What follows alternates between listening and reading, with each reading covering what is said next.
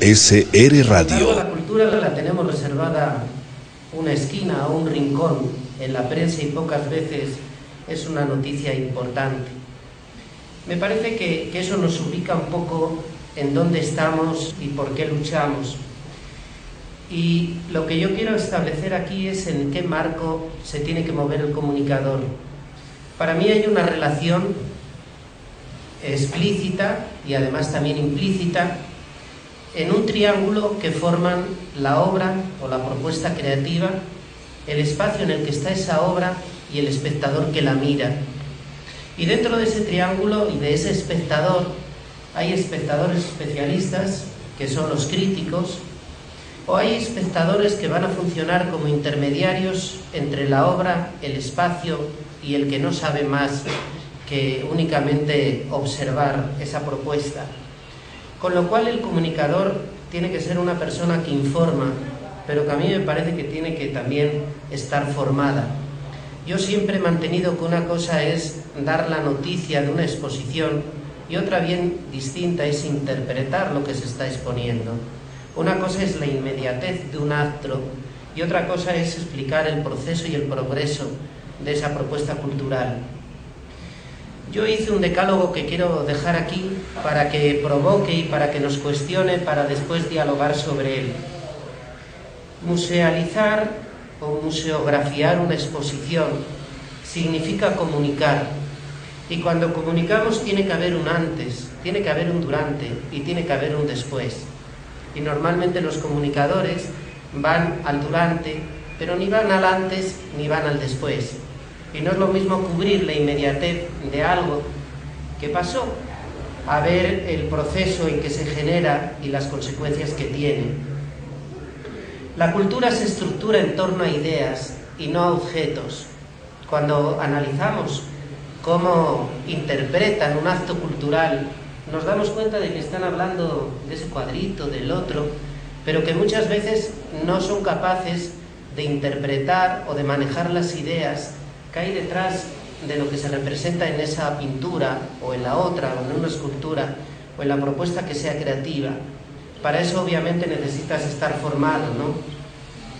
Lo que escribimos y lo que presentamos, ¿a quién se lo dirigimos? ¿Se lo dirigimos al pensamiento y a la razón o se lo dirigimos a la emoción. El 90% de las cosas que nos transmiten a través de la televisión y que nos comunican no van dirigidos a la razón. Están con 2.500 fotogramas por minuto, es imposible. Nos lo dirigen a los sentimientos, a la afectividad, a la emoción. Por eso es que después vamos y con ese mensaje subliminal repetimos sin siquiera interpretarlo lo que hemos escuchado. Cuento también como anécdota una vez en una película eh, de cine mudo, en el intermedio pusieron, invitaron a, los, al auditorio a que se tomaran un vaso de Coca-Cola.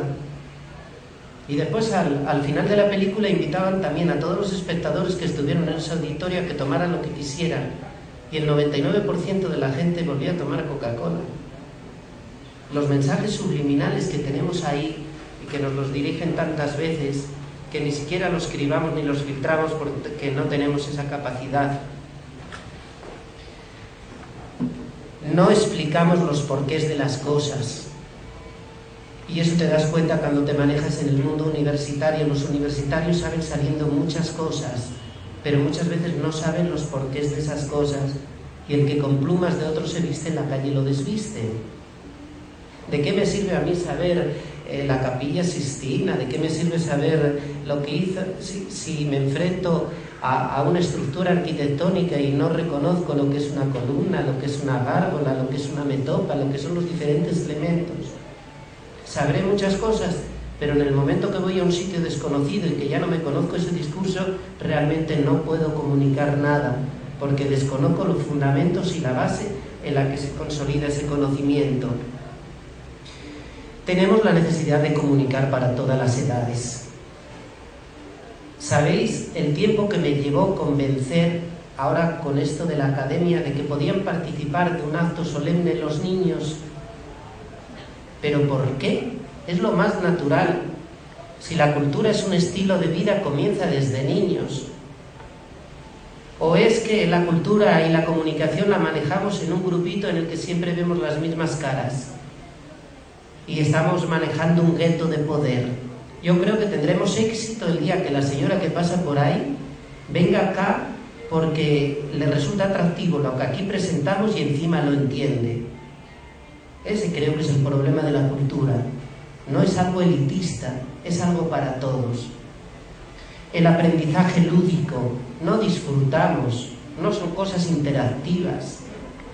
Son mensajes con discursos que a veces manejan y entiende un grupito de personas que entre ellos mismos se entienden y se quieren seguir entendiendo, porque no deja de ser más que un poder establecido.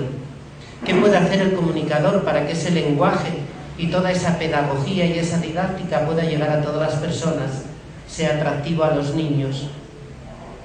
No se requieren requisitos previos. Es posible que necesitamos saber filosofía, teología, no sé cuántas cosas para entender e interpretar una obra de arte, pero muchas veces para enfrentarse, para dialogar con una propuesta que es creativa, solo necesitamos que sentido común y paciencia. Y el comunicador tiene que ser intermediario de ese sentido común y de esa paciencia. Y necesitamos recorridos abiertos y plurales, yo digo que cuando se escribe una historia se dejan de escribir otras muchas y que los historiadores muchas veces tendemos a escribir un discurso que es el único y que es cerrado y que ya es una papilla hasta digerida. Yo creo que tendremos éxito el día que los comunicadores pues abramos discursos a que la gente construya su propia historia, porque cada generación tiene el deber y el derecho a construir su propia historia y su propia cultura. Son, son ideas que están fluyendo por ahí que me parece que nos compromete a todos, especialmente en este caso a los comunicadores. Eh, después yo creo que en el conversatorio vamos a enriquecerlo mucho más, pero desde mi punto de vista la cultura, la comunicación es un estilo de vida y comienza desde chiquitos. SR Radio.